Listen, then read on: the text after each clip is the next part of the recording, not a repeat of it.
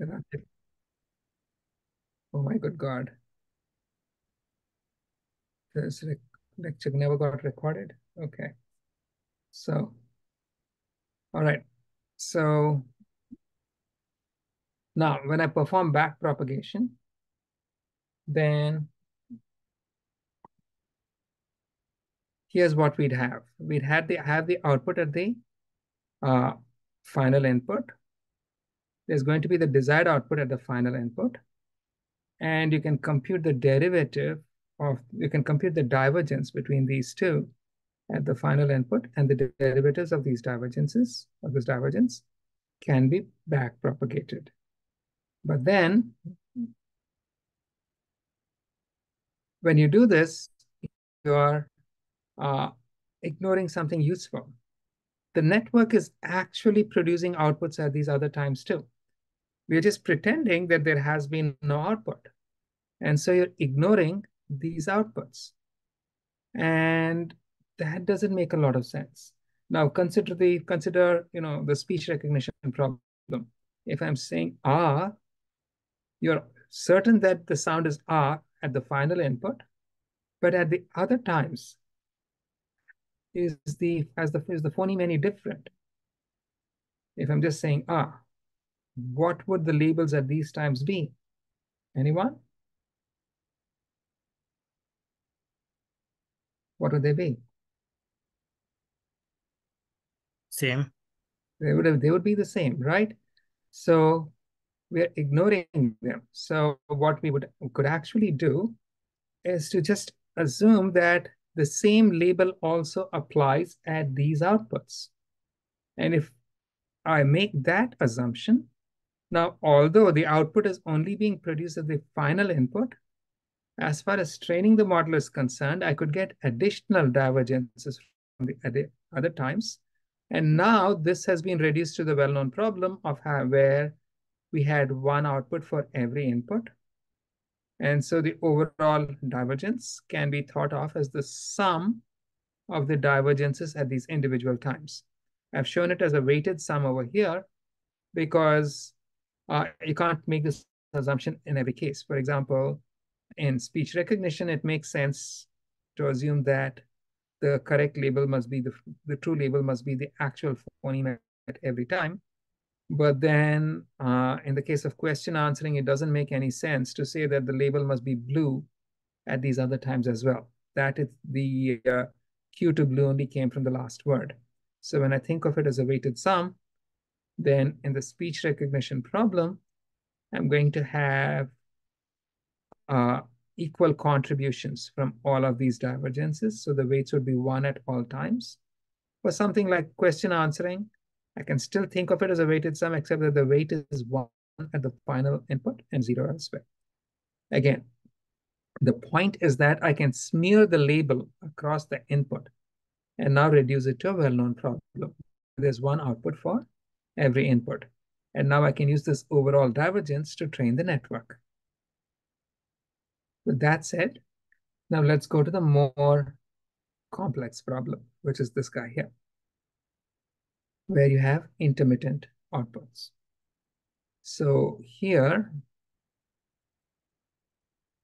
the object of this again, I'm going to uh, use speech recognition as my example. You'd have a sequence of inputs and we would intermittently produce some outputs.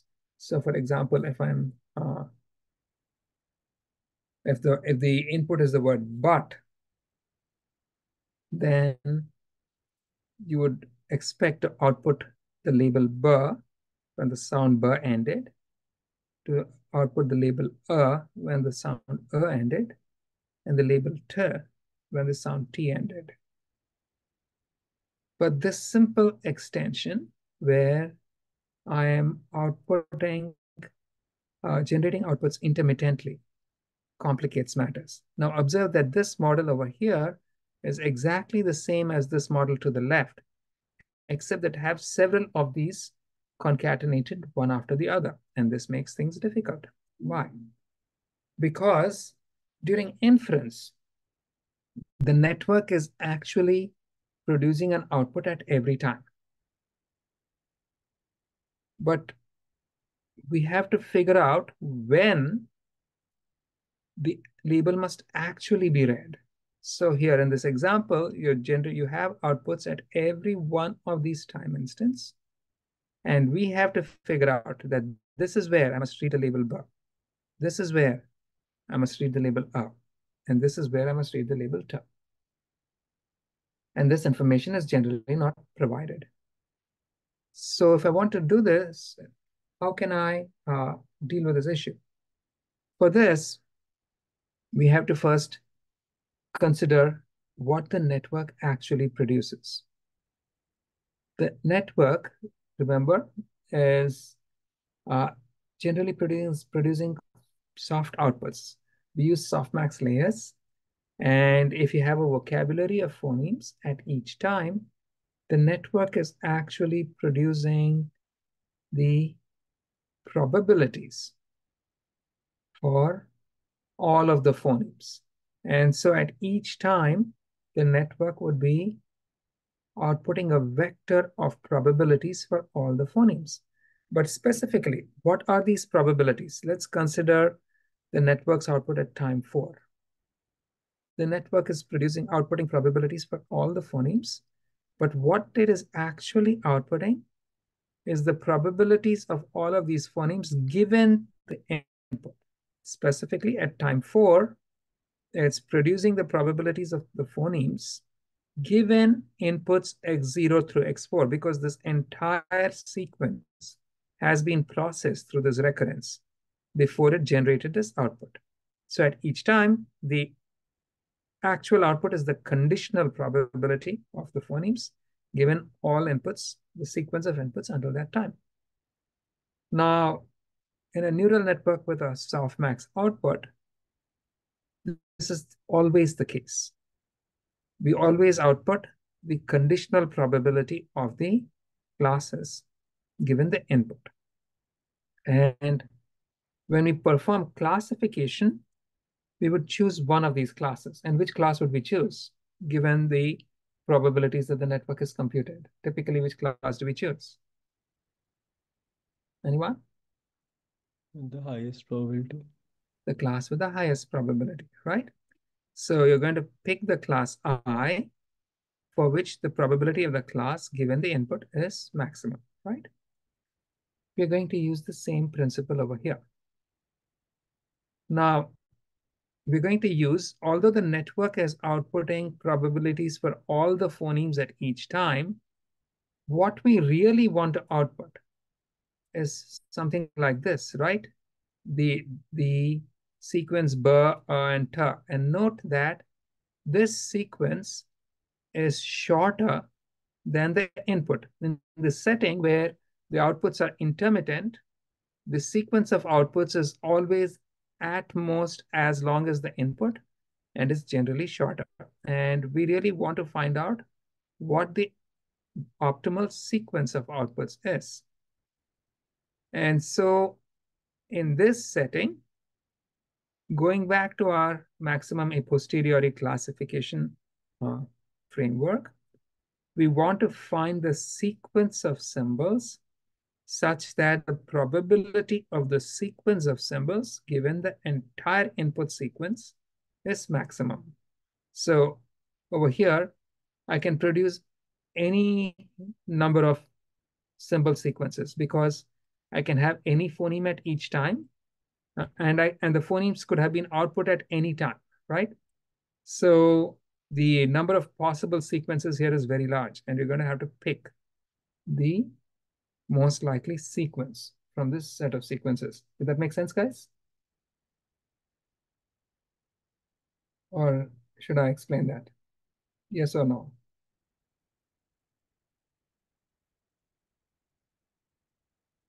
Okay. Thank you.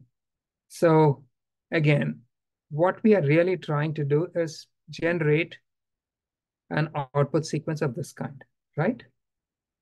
Now, here, we don't know how many symbols are going to be output. And we don't know what symbols are going to be output, and we don't know when.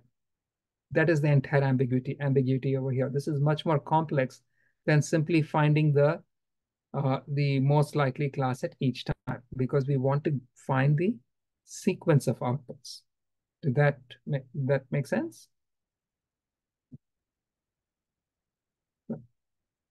And so, and so what we want to do, actually do here is find the sequence of outputs that has the highest probability given the input sequence. Keeping in mind that this output sequence could be of any length, provided it's no longer than the input itself. And that becomes really challenging. So we can have, we can come up with some greedy solutions. And the simplest greedy solution is for me to say, uh, at each time, I'm simply going to pick the most likely symbol. Uh, so Ankush, we'll get to that. We'll, we'll get to that in a few seconds, right? What is the probability of, say, this sequence over here? What would it be, Ankush?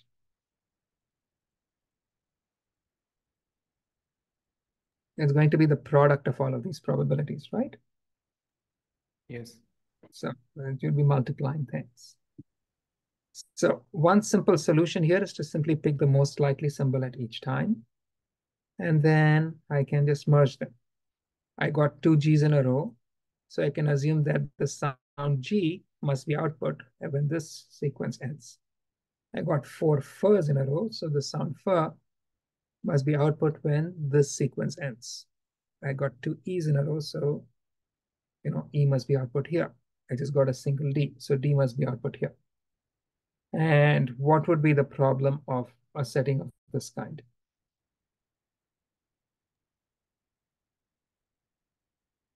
What would be the issue here? If I use, if I just use this greedy algorithm. Anybody?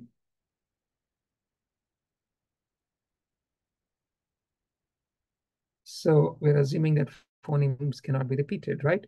We cannot distinguish distinguish between two Fs over here and a single F if I'm simply merging things. And so this is not a great solution. We'll get back to this in the next class. Professor, yeah. how do we know that the G is not continuing in timestamp 2? How do we know that's ended at timestamp 1? So this was my greedy algorithm, right? That I just picked the most likely one at each time. Mm -hmm. So but, this... Sorry. Go ahead. No, in order to predict that uh, something like this uh, output G at x1, we will have to know what the probabilities are at x2, right? Before we can predict the outcome at, at x1 then. So this is just a greedy solution at this point, right? I'm just suggesting one. Okay. And and even before you find out other issues, I'm telling you that you know there's a simple issue of repetition. Okay. You can't even distinguish this, right? Mm -hmm. So, uh, you know, another way to do it is to impose external constraints. And uh, wait a minute. Okay. I'm having issues. Okay. Like only allowing sequences corresponding to dictionary words. So you're not going to get some nonsense over here. You can use special null tokens to separate repetitions. Uh, we'll see. We'll see how we can do these in the next class. But then for for now, We've just suggested one not very great algorithm for finding the uh, token sequence, right? The symbol sequence. And we're going to refer to this process of obtaining an output from the network as decoding.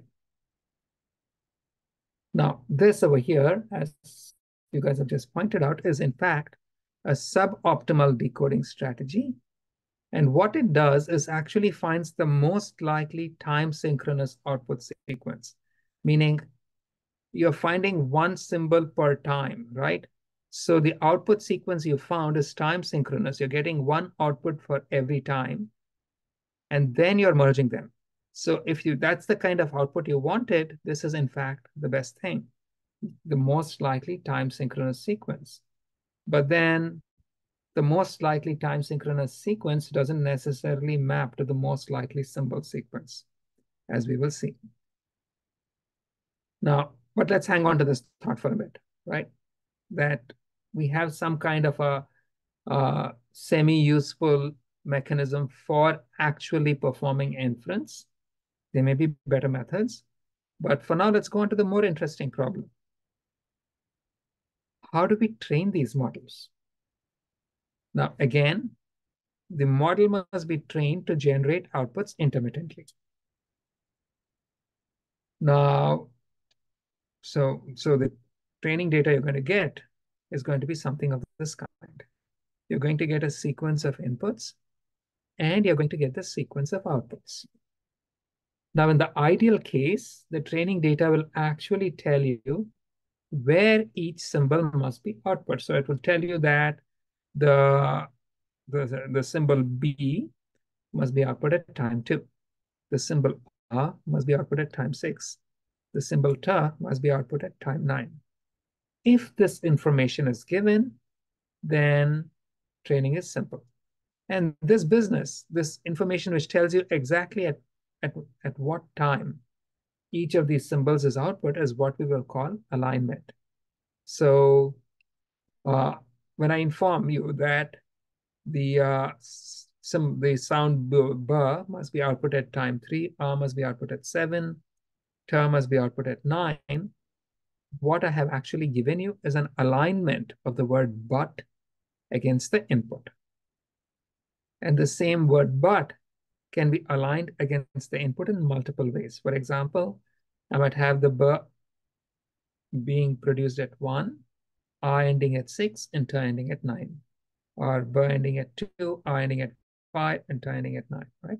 So there can be many different alignments of the same output to the input. And each alignment will result in the symbols being output at different times. So if all I gave you was but, then I wouldn't actually know where to and didn't tell you where these individual units must be output. I just told you, here's the input, x0 through x9, and the output sequence is b uh, and ta then this information is missing. Where must B be output? Where must R be output? And where must T be output? So the alignment is missing. Now, so did, did this make sense?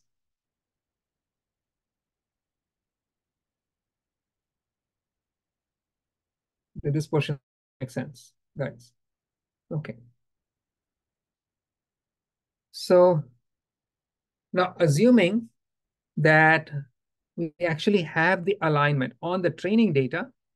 We actually have the alignment of the output with the input. So we know exactly where each output must be produced. In this case, it's very simple. Training would be very simple. We could just compute the divergences at the individual times where those uh, symbols must be generated and uh, add them up. And that would be the divergence we'd minimize. Or using what we just saw earlier, instead of wasting all of these other time instants where there is no, the output is not being considered, we can sort of smear this label across the entire span corresponding to that label and say the label BUR must be applied to all of these locations, all of these time instants. The label R must be applied to all of these time instants the label term must be applied to all of these time instants. And now we can compute a, now we've converted this to a uh, synchronous problem where we have an output and a desired output at each time. We can just compute the overall Kullback-Leibler divergence, divergences over this expanded uh, label sequence which will give me a sum of KL divergences at each time. And that divergence, the derivative of that divergence can now be backpropagated. So did this make sense, guys? If I have the alignment, then this is what I could do. Did that make sense? So in in this, are we uh, computing like uh, in a regular time series, we average the gradient of the divergence for all the inputs would be averaging the gradient of each of these labels divergence separately? So the point is, again, when you're back propagating, you're going to be back propagating just the derivative of the divergences So remember, you're going to be ag aggregating divergences across all the inputs, right? And so uh, the overall divergence is going to be the sum of the divergences at each time. And so that's this one here. And again, if the labels are represented as a one hot in one hot manner, then the KL divergence is simply the negative of the log probability of the label at each time. So this is the derivative divergences whose derivative is going to be backpropagated. And of this, if I compute the derivative of this divergence with respect to y9, then you don't have to consider all of these other elements, right? The only contribution of y9 to the total divergence is the local divergence here, which is going to be minus log of y9 at time 9. That makes sense? Got it. Thank you. And that's what will be backpropagated. So now, the problem, of course, is that if, you know, we know how to deal with it, this is just your regular recurrent network. Uh, so, uh, now we're not we're not weighting anything because we are assuming that the divergence is just, is just a direct sum. The uh, the uh, we're just smearing the labels. We're just assuming that the divergence is a direct sum. You could weight it, but we don't usually. What would the weights be? You know, that's an additional problem we don't want to deal with. Because we have a bigger problem. And the bigger problem is that this timing information is generally not provided. If you look at any speech recognition data, for instance, or if you look at optical, optical character recognition data, which is another situation where these models easily apply, you're going to have a sequence of inputs and you're going to say, here is this recording. This recording is hello world. Uh, nobody is actually going to tell you, uh, this is where the sound her ends, this is where the sound a ends, and so on. So the label information that you get doesn't have timing information. And that's a challenge. If somebody gave us timing of this kind, we know that we can just smear the labels out and we know how to compute the divergence. And once you know how to compute the divergence, you know how to perform backprop. But if the timing is not given, how do you compute the divergence? So we know how to train if the alignment is provided. The problem is that the alignment is generally not provided. So there are a couple of different solutions. One is I can guess the alignment. I can say, here's where I think the sound burr should have ended. Here's where I think the sound er should have ended, and so on. Or I can consider all possible alignments, which is to say, you know, there are a large number of ways of aligning this, this label sequence to this input. I'm going to consider them all. Now, let's look at the first solution, how we can do, uh, how we can train the model when we use guessing the alignment as our strategy. So here's what we would do. Say I'm given the input and I'm told that the input is the word, the label is the sound beefy.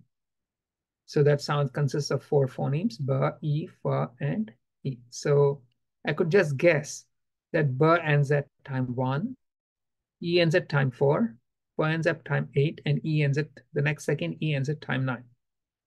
So then I could, of course, smear the label as labels as before. And then I can use this guessed alignment to compute my divergence and train my model. How do I guess this alignment? Now I could randomly guess it, or I could do something smarter. I could start off with an initial guess for the alignment, train some models with it. Now, the models will presumably not be completely random. They will have some information about, uh, about uh, the problem in them by this point. I can use these models to re-estimate the alignment and then use the re-estimated alignment to update the models yet again. And then I can use the updated models to go back and re-estimate the alignment yet again and repeat this process. That makes sense? Yes or no? Guys, uh, if At least give me a thumbs up if it made sense so I can see. What does re-estimate mean? So I have only two responses. Is the class awake even? I'll assume it is. Barely. All right. I can wait for a few thumbs ups to see the responses. Yes. All right. Okay. So, uh, Raj, I'll just answer what to answer what re-estimate means. I have to first explain what estimate means. So that's what we're going to do, right? What exactly do we mean by re-estimating the alignment for each training instance? Now again, what is an alignment? An alignment tells us which portion of the input aligns to what symbol in the sequence. So these are all different alignments of but to the input, right? But the alignment can also be thought of as uh, basically a time synchronous sequence where within each, within the span of each symbol, I just repeat the symbol. We do this for training anyway, right? So an alignment can be thought of as a repetition of symbols, which basically makes this order aligned, but, you know, but not synchronous, time asynchronous sequence to a time synchronous sequence. Again, notice the specialty of this kind of data. The output is order aligned, meaning the b occurs before a, which means the portion of the input that corresponds to b occurs before the portion of the input that corresponds to a. But it's not time synchronous. You don't have one output for every input. The process of alignment and then filling in these gaps by repetition basically converts this order aligned but time asynchronous label sequence to a time synchronous sequence. And so the alignment can actually be represented as a repetition of symbols in this manner.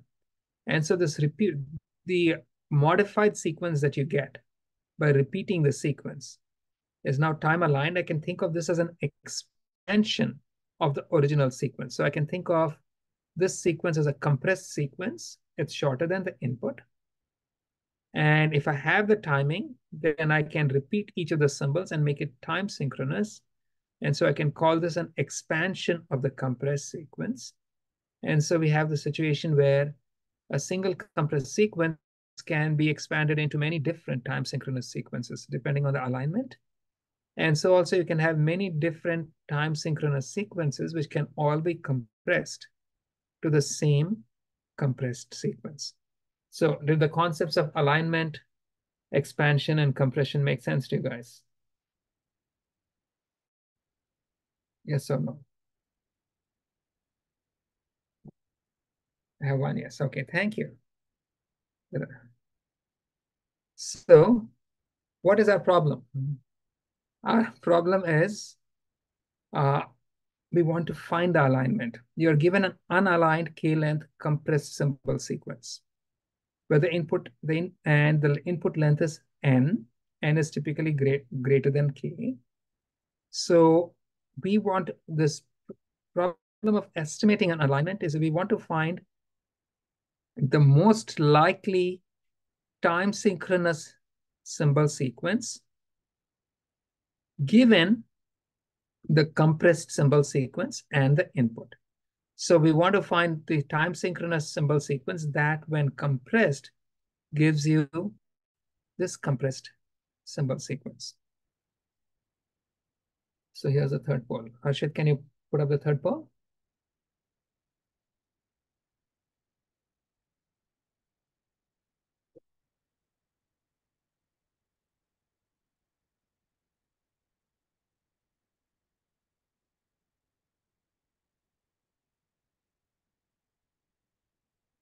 Can you guys see the poll? Yeah.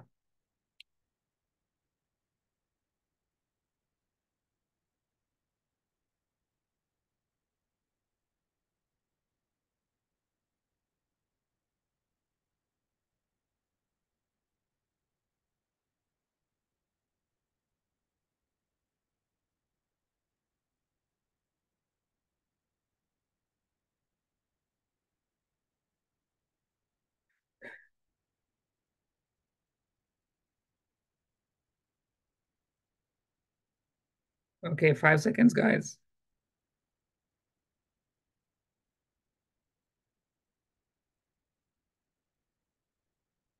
All right, let me stop this. So can anyone tell me if this first statement is correct? True or false? True. Second one. Third. Fourth. And the fifth. Right. So an order synchronous symbol sequence that's shorter than the input can be aligned to the input by repeating symbols until the extended sequence is exactly as long as the input. The alignment of an order synchronous sequence to an input is a time synchronous sequence, right? And the symbol sequence that's time synchronous with an input can be compressed to a shorter order synchronous input by eliminating repetitions. And so uh, order synchronous symbol sequences that are shorter than the input are essentially compressed symbol sequence. There are multiple mappings between compressed and expanded sequences. So let's go back to our problem. Here's the actual output of the network. It has produced a probability, uh, a, a vector of probabilities at every time. I can think of this entire thing as a probability table where each column uh, Yes, Karthik, yeah. So we'll get to that. So I can think of this as a as a uh, probability table where each column is the vector of probabilities of outputs uh, of the uh, symbols at a time. Now, I'm, I'm given the symbol sequence. I'm told, for example, that this, this input corresponds to the, the word beefy. And so I want to find the time synchronous sequence, which, uh, which the most probable time synchronous sequence for beefy. Now let's assume that I have a current model that I can actually give me this probability table. Now, one way to try to find this alignment is to simply pick the most likely symbol at each time. But then if I simply pick the most likely symbol at each time, which will it give me the actual training label sequence?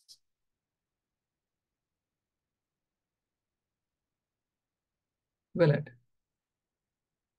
So for example, let's say I'm given an input sequence and I know that this is the, uh, this is the word beefy.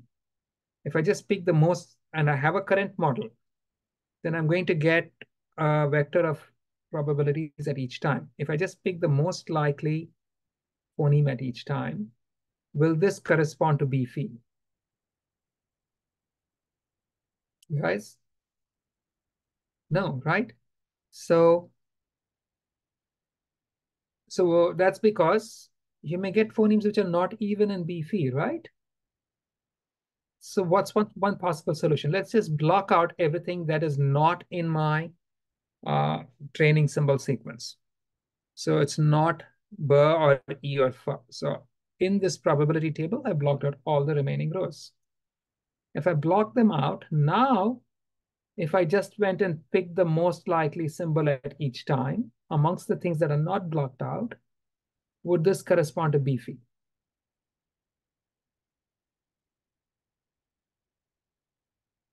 Would it? Guys? Okay. This business of blocking out first means that you can think of it equivalently as pulling out the rows B, E, and F and making a separate table on top. And so picking the most likely, uh, now this only assures us that the whatever symbols are produced are correct. But if I just pick the most likely symbol at each time, there's no guarantee that this is going to be beefy, right? It could be, in this case, B, E, F, B, F, E. Just picking the most likely one uh, from this, simply restricting the table is not enough. I can't just pick the most likely one, right? So is this problem clear?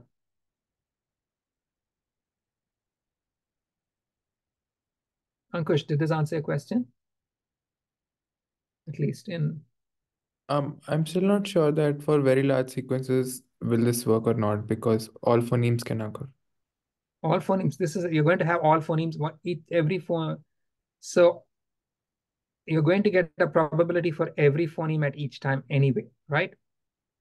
But the length of the sequence is kind of not relevant. Uh, the question is, this is this is not sufficient even for small phonemes, right? Um, for small sequences. Yeah. So can so does everybody see that this is insufficient? Yes or no? So can someone suggest what else we can do to improve matters? Any suggestions?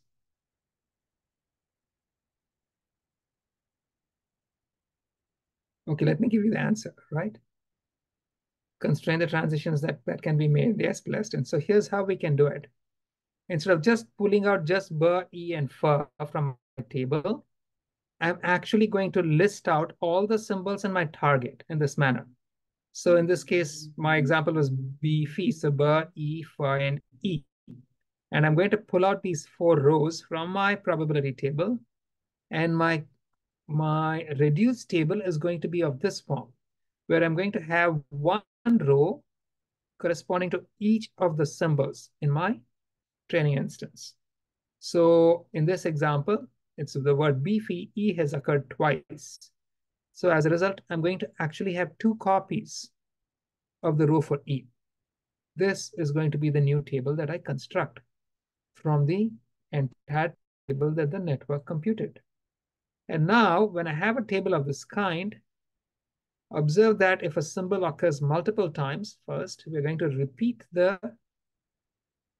probability rows once at each location. And then in this table, if I think, if I draw a path through this table from any point to any point, right?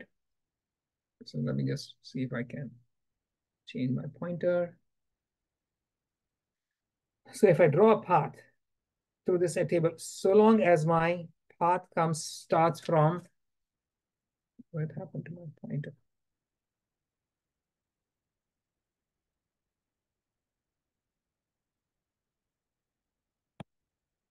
For some reason, my pen is not working. Let me use the mouse. So give me a second, guys.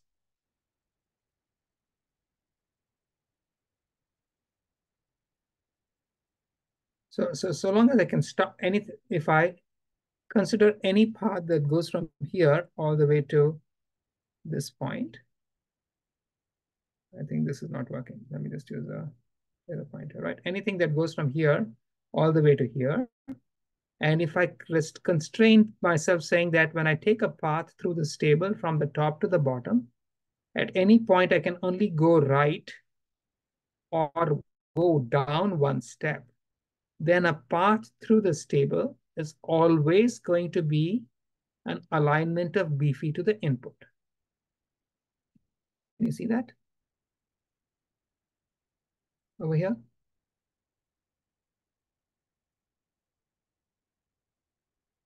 That makes sense, guys? Right. Okay. And so that's what we're going to do. We are going to, why is this now not working?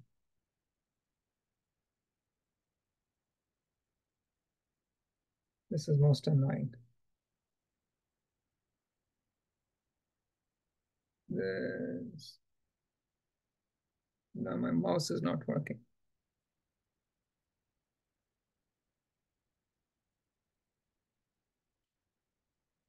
So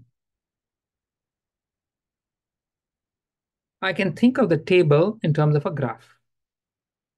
I can convert this table to a graph by drawing edges of this kind, where I uh,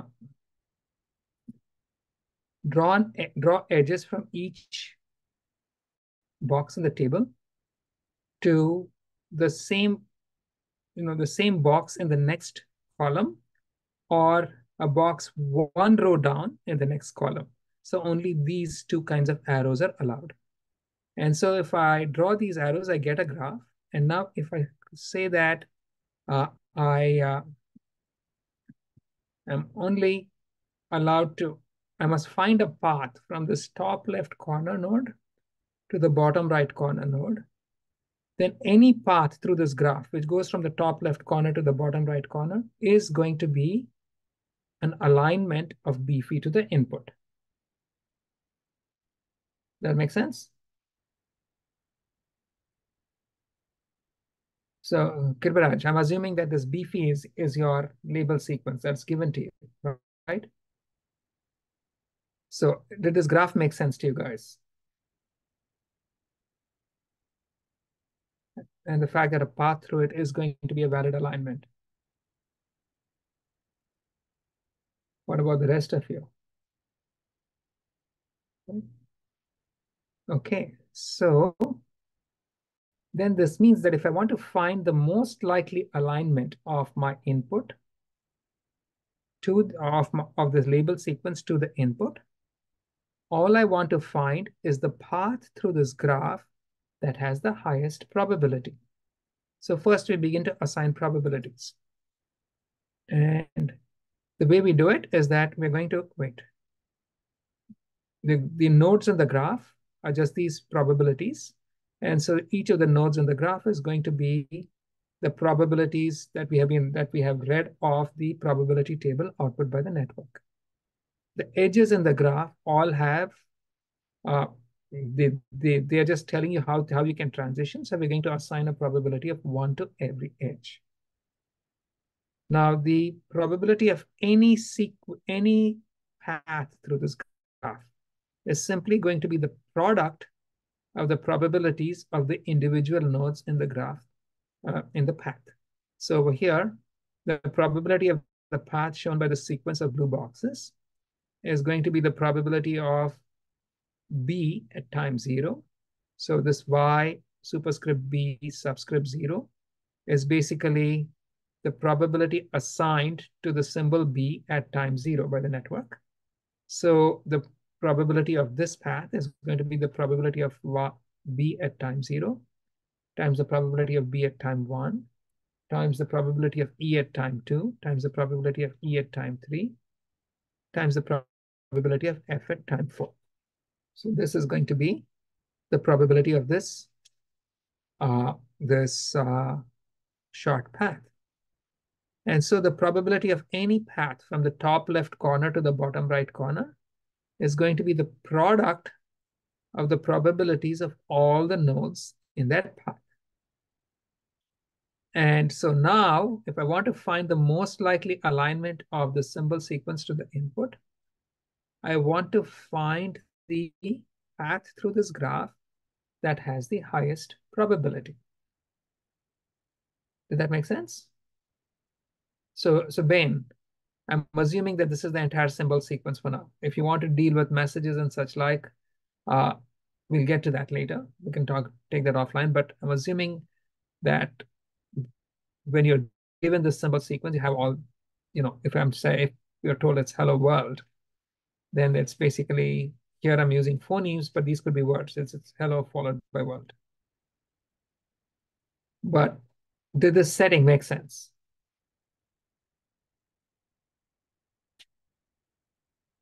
Right. So, okay. Our problem then is that of finding the most probable path from source to sink using any algorithm. And I'm sure most of you, once I set things up in this manner, most of you can think of uh, uh, shortest path algorithms and other like Dijkstra's algorithm or the Viterbi algorithm, uh, which can be used to find this so for those of you who do not know such algorithms, let's go through a simple one, which is the so-called Viterbi algorithm. Now, the Viterbi algorithm is based on a very simple principle. If I want to find the best path starting from the top left node to this red node. Now, observe that the red node has only two parents, right? Because you only allow horizontal arrows and edges going one step down diagonally. So this can either have come from, from the same row at the previous time or the previous row at the previous time. Now, the best path to this node must be an extension of either the best path to the blue node here or the best path to the green node here. It cannot be an extension of the second best path to the blue node because the second best path is already scoring lower than the best path. And so extended it, extending it is not going to make its probability greater than that of the best path, right? So the best path to the red node is an extension of one of these two, the best path to the blue node here or the best path to the green node here. That makes sense?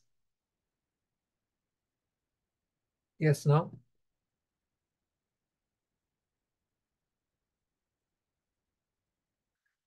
Okay, so that's a very simple algorithm. That's all I have to do, right?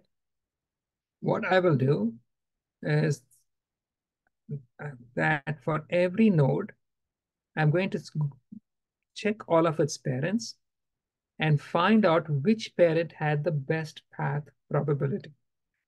That is going to be my, you know, so that I know that the best path to this node must be an extension of the parent that had the highest, most probable best path. And so if the blue path over here, if the best path to this blue node over here had a higher probability than the best path to the green node over here, then extending the green node to this guy is going to give me an overall path that has a lower probability than simply extending the blue node. So I know that the best path to this node must come from the best parent, it would, which in this example would be the blue node. So uh, the uh, simple algorithm is algorithm is simple. It's like so. Uh, here I'm using this notation y subscript t superscript s of r. r is the row number. S of r is the symbol. So S of 0 is B, S of 1 is E, S of F is 2 is F, S of 3 is E again, right? And t is time. So y subscript t superscript s of r is the probability assigned to the rth symbol at time t by the network. So for example, y uh, t e, right? So for example, this, this I mean, it's, it's complicated notation, but it's basically giving you these things. This, for instance, is the probability assigned to the symbol e at time two by the node, right? Now, using this, here's what the algorithm is going to look like. At the very first time, I know that the first symbol must be this guy. So the best path probability to this node is simply y0b. There are no best paths to any of these nodes. So the best path probabilities to all of these other nodes is zero. So the best parent for this guy, there's no parent, there's no node before this one. So the, the best parent, the best path parent to this node is just a node right? Then I can take a step forward to the next time. Let's consider the first node. For the first node, there's only one parent. So I can immediately say that for the first node, the best parent is this guy. And the best path probability to this node is the best path probability to the parent times the probability of this node. Now, if I consider the second node, the second node has two parents. It could have either come from here or from here. And clearly, since this has zero probability, the best parent for this node is the one up here. So I can keep track and say that keep track of the best parent and I and uh, store the information that the best parent for this node was this one here. And the best path probability to this node is simply going to be the probability of this node times the probability of this node. That makes sense? Yes or no? What about the rest of you guys? Right. And of course, for the remaining two, both parents are impossible. So the, so the best path probabilities to these two nodes is going to be zero. And now I can repeat the same logic for every subsequent row. row. Here, for example, the best parent for this guy is just this one. So I can just keep track of the information that this is the best parent and the best path probability is the best path probability of the best parent times the node prob. And for these two guys, each of them has two parents. For each of them, I can pick the best, the highest, the best parent, which is the parent with the highest best path score. And then just store a pointer to the best parent and compute the best path score to the node itself, which is the probability, best path probability to the best parent times the probability of the node. So here's the entire algorithm. I'm going to go through time. At each time, there are two only two choices for the best parent. It's either the uh, that's shown on this figure, right? So at each time, there are only two probabilities for the best parent. It's either the L my for any symbol in the Lth row, the, the parent is either the L minus one symbol at the previous time or the Lth symbol at the previous time. We determine which of those has the higher best path score. And then once we determine that, we store that information. We say the best parent for this guy here, for example, is L minus one. And then the best path score to this node is simply going to be the best path score to the best parent times the node probability itself. I can simply use this logic and compute the best path scores for all of the nodes in this column. I can use those to compute the best path scores for all of the nodes in this column, which I can now use to compute the best path scores for all of the nodes in this column, and, and so on, till I get to the final input. At the final input, now by the time I get here, I have the best path scores from the starting node to every single node in the graph. But I know that the final path, node in the path must be this one. So I can ignore all the rest of these guys. And in the process of computing the best path score to each node, I also kept track of the best parent for each node. So I know the best parent for this guy. So that's this one. But I know the best parent for this guy. So that's this one. And so I know, and I know the best parent for this guy, which is this one. And so I can track my way back and find the best path through the entire graph. And that's going to give me the most likely alignment of my input to the symbol sequence as computed using the current neural network. Did this make sense? Yes, no. Any questions?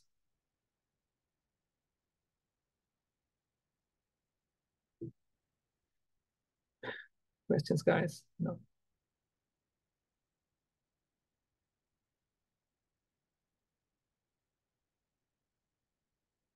Okay. Here's a poll. Ashit, can you put up poll four?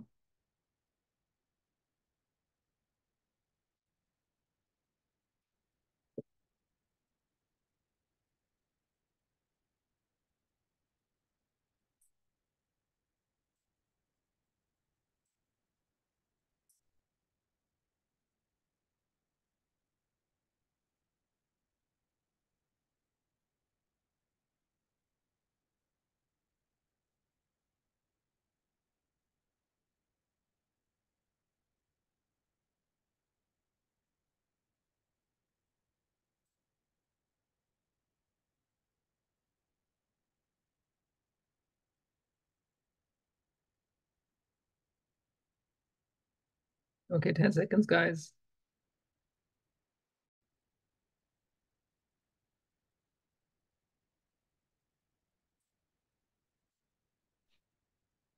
All right, let's stop. So is this first statement true or false?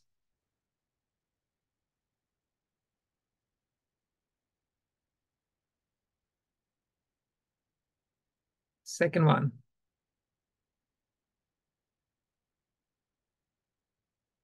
Third.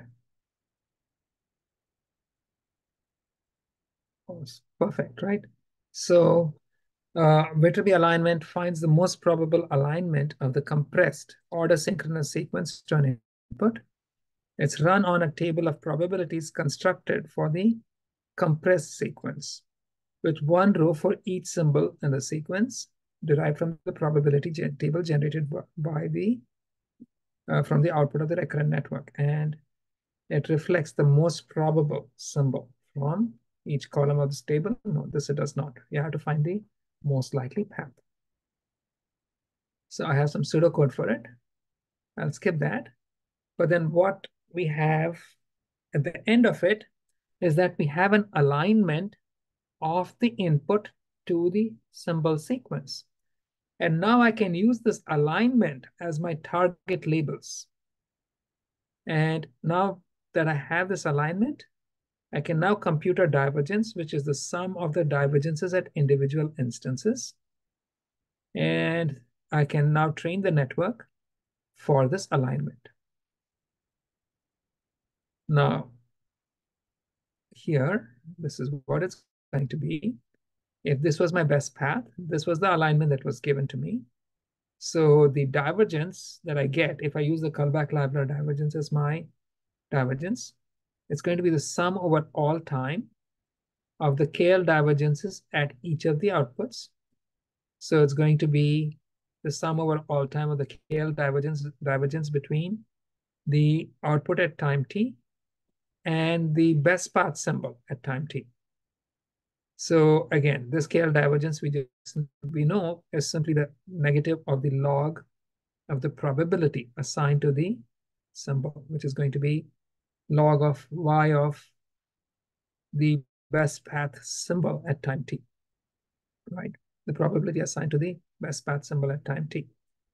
Now, if I take the gradient of this divergence with respect to the tth output vector, then I only need to consider the divergence computed at time t because this is an additive contribution. And we know from the past that the divergence of the KL, the, the, the derivative of the KL divergence is simply going to be the uh, probabilities, uh, a vector of zeros, except at the component corresponding to the target symbol. And that entry is going to be minus one over the, the probability assigned to the target symbol. We've seen this in previous classes. So remember this probability, it's going to feature again in the next class. And so the derivative of the divergence for this aligned symbol sequence with respect to the uh, output of the network at any given time is simply going to be the uh, derivative for the, the vector, uh, a vector of this kind with zeros assigned to all components except the one component corresponding to the probability assigned to this target symbol. And that one component is going to be minus one over the probability assigned to the symbol. Again, we can see that this derivative, uh, it actually encourages, because this the sign is negative, it encourages y to increase. So gradient descent using this derivative is going to try to increase the probability of the target symbol at each time. So that makes sense?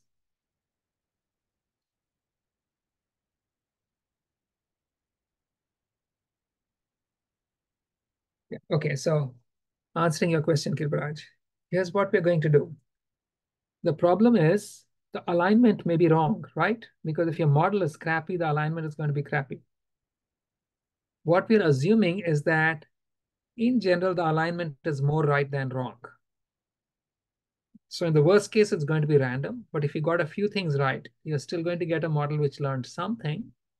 And then you use that model to update the alignment, and the new alignment is going to be better. And the reason it's going to be better is that we have the sequentiality constraint. The b must come before e.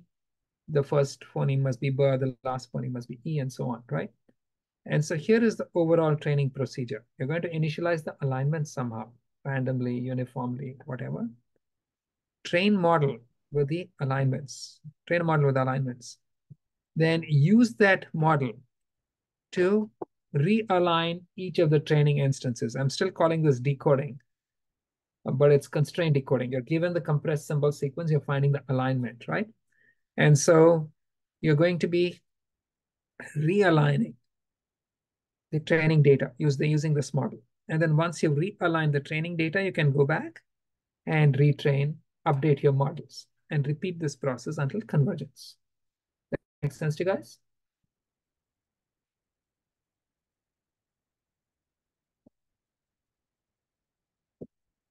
So what about the rest of you? Kripa, what about you?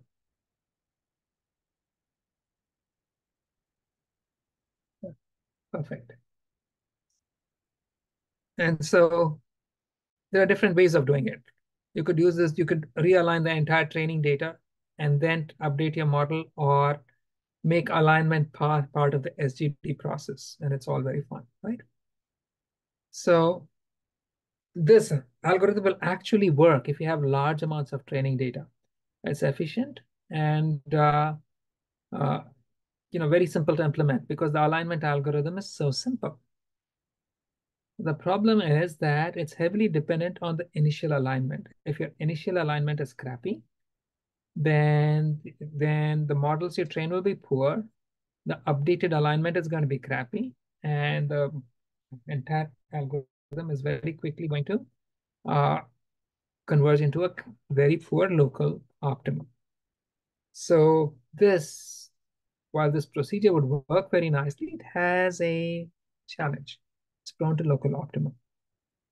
There's an alternate solution, which is to not commit to any single alignment during any pass of training. So that would be training without explicit alignment. Uh, it's called connectionist temporal classification. And we're going to cover this and how we can deal with null symbols that handle repetitions of symbols in the next class. Let's. So we'll stop right here and I'll take any questions.